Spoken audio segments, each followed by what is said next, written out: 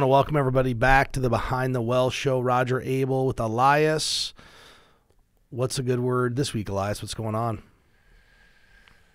Another another week. Um, gosh, I don't know. I mean, I'm in football season, so between work and that, I'm just that's all I think about um, during the season. So that's where I'm at. I'm either working and meeting with people or working a game, watching film. Kind of, it's kind of nice because there's only two things to worry about in the fall. But, you do, but you don't watch you don't do football on TV, right? Like you don't watch games. You pretty much just ref games. Like do you watch the Hawks or I'll record it and I'll watch if it was a good game or something. did you watch this week? No, I don't. At first, I look at the score, and then depending on the score, I know what type of game it is. I've watched thousands of Iowa Hawkeye football games in my life. So what was it? Thirty-five to zero. Uh, something like that. I don't need to watch. I know how it went. They Oh. couldn't get any first downs. They probably didn't get any yards on first down. They probably turned the ball over. They turned the ball over. Yeah, I I yeah, I the first drive they were looking good, fumbled. Do you know what the the point average is right now?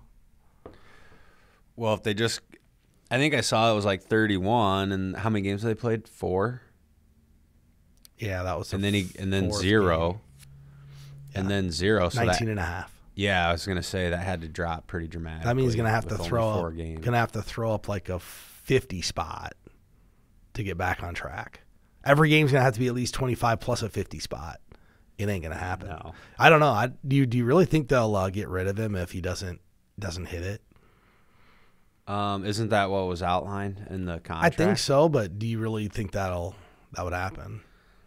Um, I don't know. It's a good question. He's a good coach. He probably should be a Division One coach, but maybe not coaching. Uh, maybe not calling plays and He's just coaching the wrong spot. We had when he coached the offensive line, we had the best offensive line on the planet. Now our offensive line's not that good, and he's not he's not good to calling plays. In fact, somebody pulled up, you know, the top offenses in the nation. Once again, we're third to last, and we have too good a talent on offense to be third from last. Right. And it's, yeah, I, don't know. You know, I don't really know the answer, and I don't know. You know, it's easy for fans to talk about stuff, but not at practice, so you don't know really what's going on. But I just know when you watch it and you watch the best teams in college football, they've evolved over time, and we're still running ace, ace, tight right, power. That's great if you can do it, but um, you know you're also not playing with the type of linemen that they can get at Georgia and Alabama and schools that can actually run that type of offense. So I don't know. I'm sure there's a play. There's certainly a place for uh, Coach Brian Ferentz in college football. He's a good coach. He might not be in the right spot for I where agree. he's at now in his career. And I don't want to be critical because I know nothing about coaching. You know, I'm an armchair coach. Played a little high school football. That's like the limit. So I don't want to pretend like I know. But one of the things, you know, I was actually down in Kansas City this past weekend, and um, someone asked me what's going to happen with the government shutdown. I I haven't really been paying too much attention to it until like the last few days, but we're approaching that October 1st deadline. And every time we hear of the government's going to shut down, people just automatically assume the stock market's going to crash. In fact, I had a client call me nine months ago because I think we were up on a deadline in May. He goes, We should get out. Stock market's going to crash. I'm like, The numbers in the past don't actually reflect that. Yeah, I, would agree. I would agree with that. And you know, we talk a lot with because there's a lot of um, you know, go, anything with the government scary for people. Whether it can be have an impact on the capital markets or not. And when you say the words government shutdown, it certainly sounds scary. After some of the things I've listened to and read about it, it does sound scary. It actually sounds more scary for the people that work in government and are going to be expected to continue working without pay or just furloughed and have to go on unemployment. But and I don't know, maybe I just forgot from the last time we went through this, but I was shocked that people are going to be expected to work without pay during this shutdown period. I don't is that that does to me that just doesn't seem right. Well, we don't have any money to pay you, but you got to come in. Well, I think in all fairness, they get that back pay. So when the government does pass a spending bill and gets going again, they're going to get the back pay. So Yeah, it's not free, but they still have to go without for however long. Yeah, I think that's wrong. I, and you know what? Not passing a spending bill puts 4 million people that are federal employees at risk of being furloughed and all those different things. So I think the effect of the government shutting down has much more strain on an individual household than it does on capital markets. And I and I believe part of that is capital markets believe we will pass a spending bill. It's just when will we pass it? It's not if, but when we'll actually pass it. Yeah, and it will. It'll ultimate. Ultimately, it's going to. A deal will get done. They'll figure out how to make it work. So a lot of people have asked, you know, based upon the past, how long do these typically last if there is a shutdown? Because there's some politicians taking a pretty hard stance and want some pretty big cuts to the budget to to vote yes for the spending bill. But Goldman Sachs just came out and they had a note that said that the baseline expectation if the government were to shut down is about two weeks. I think that's a strong possibility. I don't know. I'm not a predictor, but one uh, a Moody's analyst, his name's Mark Zandi, floated the idea that the shutdown could stretch throughout the entire fourth quarter, which that's way out there. The longest shutdown we've ever had is 35 days. Yeah. So- So, a shutdown for 90 days, that would be.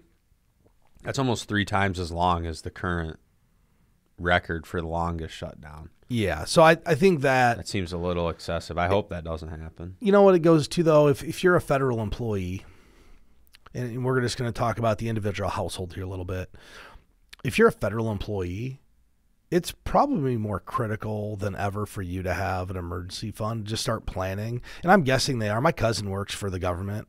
I think they planned for this. And if you're not you should be thinking about it. Like how would i at least make it for 35 days with no paycheck? Yeah, right. So yeah, if you're a federal working for the federal government, part of the equation of your emergency fund should be a government shutdown. yeah. And It- then it's and then you know your premiums, all the or uh, deductibles and all the other stuff we talk about. But to me, it's almost like the minimum starting point. Okay, if 35, what they say, 35 days is the longest. yeah So no less than probably a month and a half of minimum, cash. minimum month and a half of like everything paid that you're paying for plus your emergency fund you have to have both Yeah, because correct, you still you know bad stuff typically happens in threes right it could happen that you're furloughed your dishwasher goes out you get in a car accident and you go to the doctor well next thing you know you went through your whole emergency fund in 35 days so if you're potentially going to be furloughed or not get paid, you, have to figure out how you're going to make it make a go of it. But then there's the other pact is really the stock market and and what's happened. I've got a little chart. So if you're watching this on YouTube, you're going to be able to see this. But I think people just dramatically overinflate what's going to happen. I'm going to read some statistics here. So during the shutdown of 1990, this lasted three days. The S&P 500 was down two percent at the end of the shutdown. Well, that's not anything meaningful. 1995, it the shutdown lasted five days. The S&P 500 was up 1.2 percent at the end of the shutdown. 95 to 96 lasted 21 days. The S&P was exactly flat during that period of time. 2013, the shutdown lasted 16 days. The S&P went up 2%. 2018 lasted three days. S&P was up 1.5, and the most recent shutdown was 2018 to 2019. It lasted 35 days, the longest on record, and the S&P um, ended at the end of the shutdown was up 7.3 percent. So if you add this up, the government shutting down has very little effect on the stock market whatsoever. This shouldn't factor into your your decision making. And it really goes back to a little bit of what we always talked about, Elias, that this is why it's hard to time markets. It's why it can't be done. Because people would see this as an event to provide opportunity to get out or get into a market. Well, at the end of the day, it's pretty random. If I if I polled a hundred people and said if the government shuts down, what's going to happen to the stock market? Is it going to be up or down? Most people probably answer down. they're going to answer down. When in reality, more of the time, it's only been down one time. Every other time was flatter up. So I think if you're worried about this, it's the wrong thing to worry about.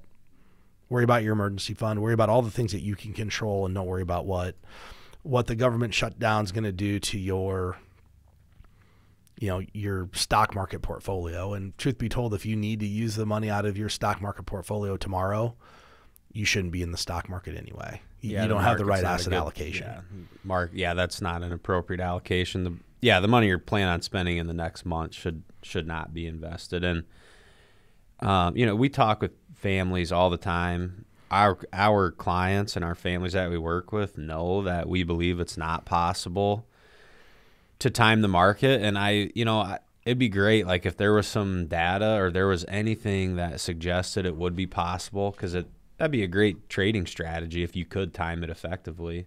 And I always jokingly tell people, trust me, if we could time the market, we would certainly be doing it. And at that point, you might even have to help other people with their investment portfolio. But that kind of brings up that's a good transition to the next topic. This is something people are starting to do. It's almost like another bucket of money that people are starting to have for themselves in addition to an emergency fund. And it's being referred to as an opportunity fund.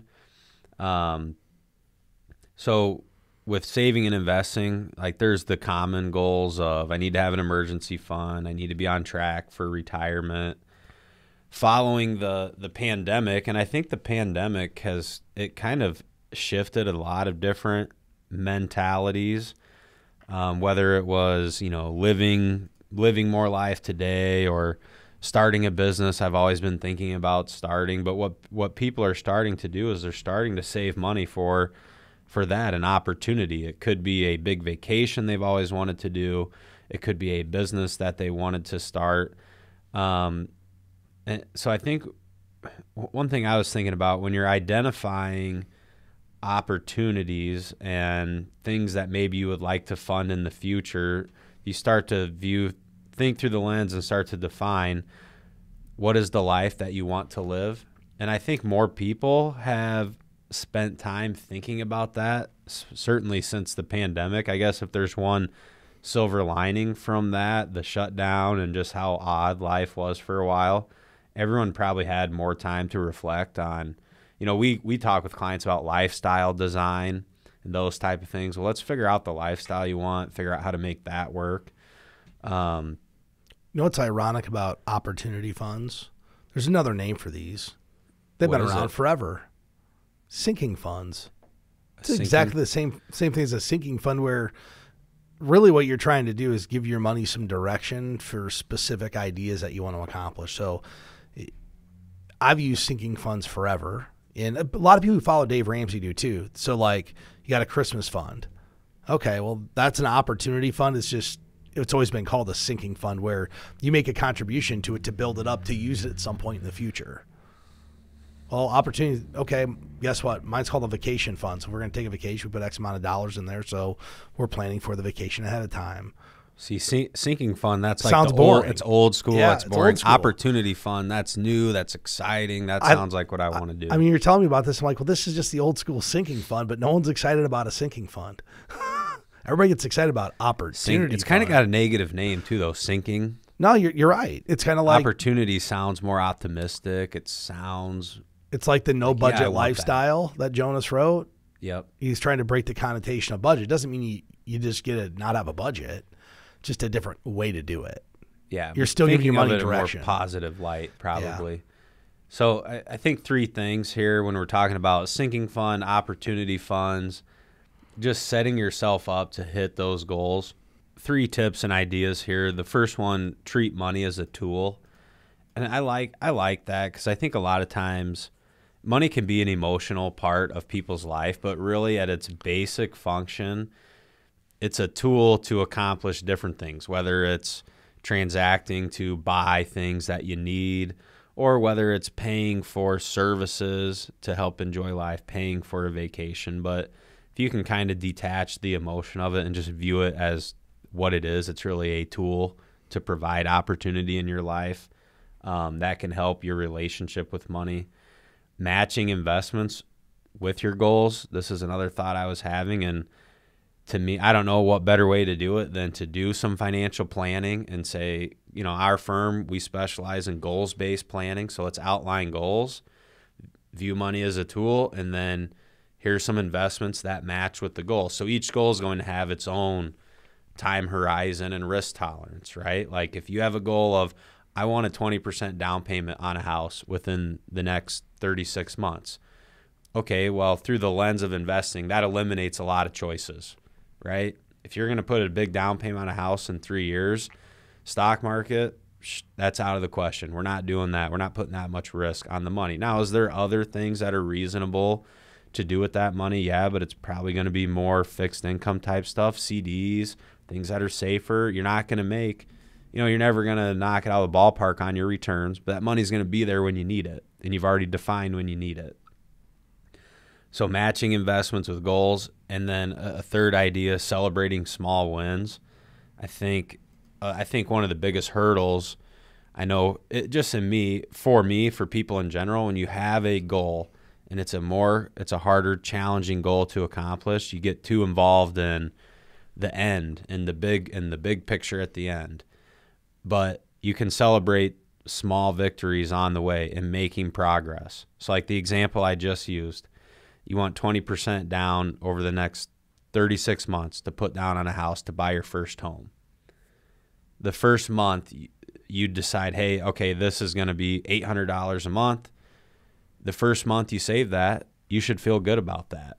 You're still 35 months away from achieving the goal, but you should feel good in, in, in accomplishing that task along the way. It also, just with the psychology of money, celebrating small wins, if you think about why someone like Dave Ramsey's baby steps are so effective, it's because it's the psychology of it. It just feels good as you go along, and you're rewarded for accomplishing um, accomplishing small tasks. So I think if people, you know, with these opportunity funds, if you can kind of build it that way, put some thought into it, be proactive with it, feel good about the things you're doing, I think you can have a lot of success achieving those.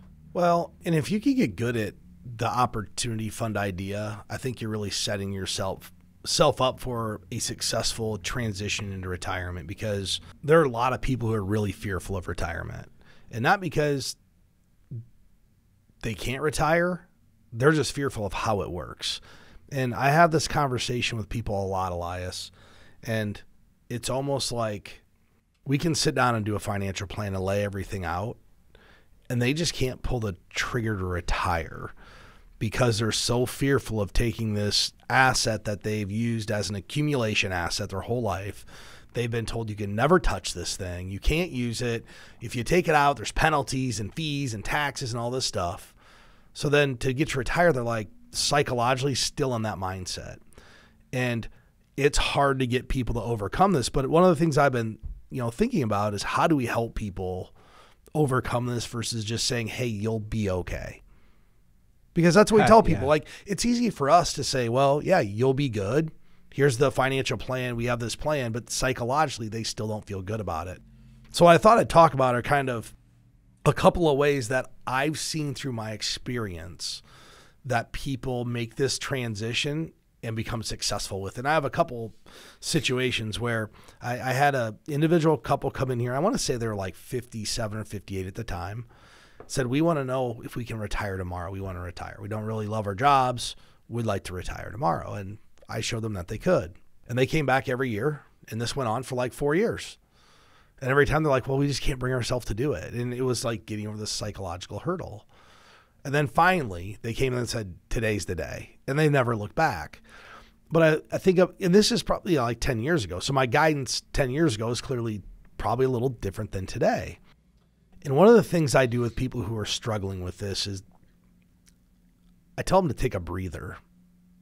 Like, not just like jump in and start taking money out. Why don't we phase into this? And it could start like I've had people are like, why don't you just stop contributing to your retirement plan for six months and save that money up in your bank account?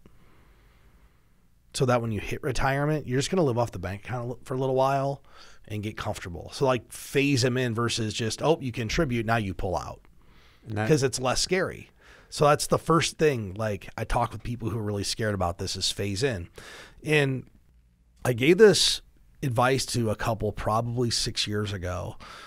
You know, they're used to making the same paycheck, right? They're used to getting eight thousand dollars a month. And literally like they retire and they're like, okay, we need to set up our our systematic distribution to get eight thousand a month. I'm like, do you need eight thousand a month? Well, that's what we've always got paid. I go, do you need eight thousand? Well, we don't really know what they needed, or they said that we don't really know exactly what we need. I said, well, how about we do this? How much is in your checking account? So I had them write it down, checking and savings, what their balances were. I said, based upon that balance, you're probably not going to need any money from this. So how about we don't take any money out because you don't need to, and we're going to meet in 90 days, and we're going to see what the balance of your accounts are. And they're getting their social security check. Yeah. They Have came back. tapped into any bank account money. They've added to it. They've never called for So were they taking Social Security? Yeah, it's got Social Security, and they had enough money saved. They've never, ever taken money out of their accounts. So what it was for them is that fear of, oh my gosh, we're going to run out of money, went away because they're not even using any of it. And I knew they weren't going to, but it was kind of a way to phase them in versus just saying, hey, yep, let's set it up just like it was before. Because if I send them that money, what's going to happen? They're going to spend it. It's going to go away. So that's the other. or, or they're just their bank. They'll get so much money in their savings account, and then they're going to call and say, "So what do we do with all this extra money in our savings account?" I always tell people all you're doing if you're doing that is moving money from your right pocket to your left. That's it. yeah. Like nothing good's going to come of that. So that's the second way people can kind of phase into this. The other thing, the third thing people can do, if you're really nervous about this retirement transition, is to use the bucket strategy like we've talked about. You know, if you start to give your money responsibilities, which kind of coincides with that opportunity fund you just spoke about, if we give our money responsibilities, we know how and when we're going to use this money we're less likely to become emotionally attached to the movements of the stock market.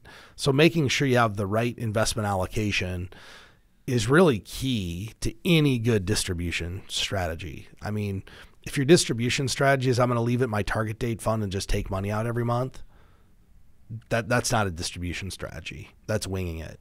There's no thought to that. Well, and how how many of our families certainly during the bear market were like, "Okay, I get why you guys do it this way now." Right? Where before they're asking about there's cash and there's these other positions. Well, then you get into a bear market, but you know you're going to get your check every month. Without selling your equity investments. And we have right, we have time to let the market recover.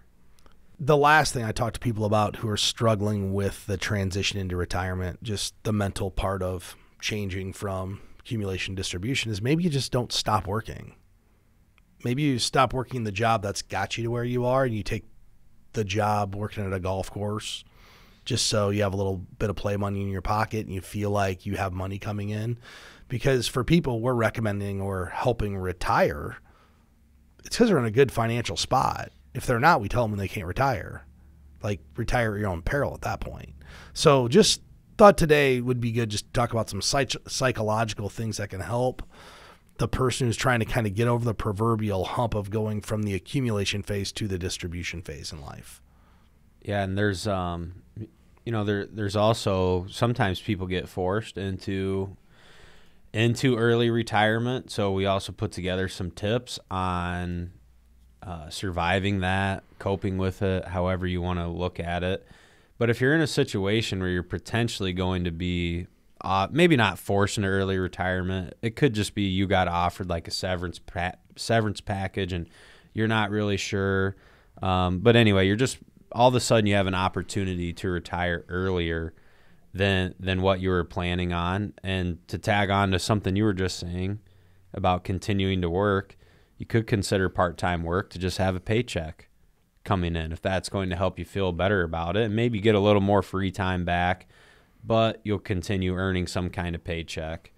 Reducing expenses, which this is always, you know, living on a budget, reducing expenses, no matter what part of life or your investing career, this is always going to be something something you're faced with. Hopefully as you transition into retirement, the expenses expenses have been reduced, meaning like the mortgage is paid, the cars are paid for, just all those things that can really put stress on someone's cash flow have already been taken care of.